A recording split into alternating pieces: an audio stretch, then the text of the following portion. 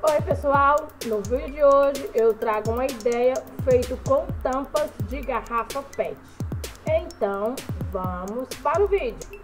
Com a ajuda de um estilete eu vou fazer vários cortes em toda a volta da tampa.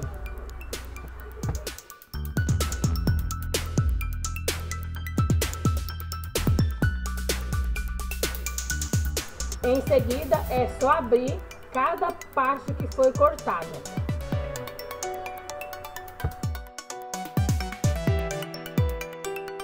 Vou utilizar também uma tampa de garrafa de detergente.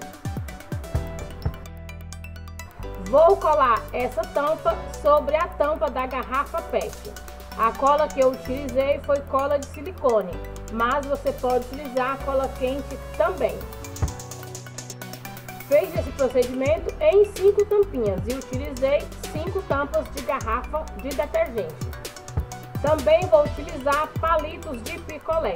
Aqui eu vou formar um quadrado, colando dois na vertical e dois na horizontal. A cola que eu utilizei também foi de silicone. Em seguida vou pintá-lo. Aqui eu vou utilizar tinta acrílica, mas se você quiser pode encapar com EVA com tecido, fica ao seu critério. E peço a você que está assistindo a este vídeo para deixar aquele like lindo para ajudar aqui no canal.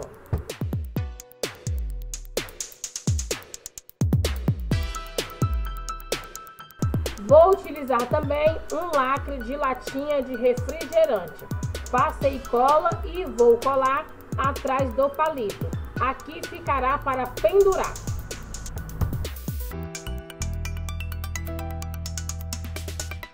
Em seguida, passei cola nos quatro cantos do palito e vou colar a tampa da garrafa.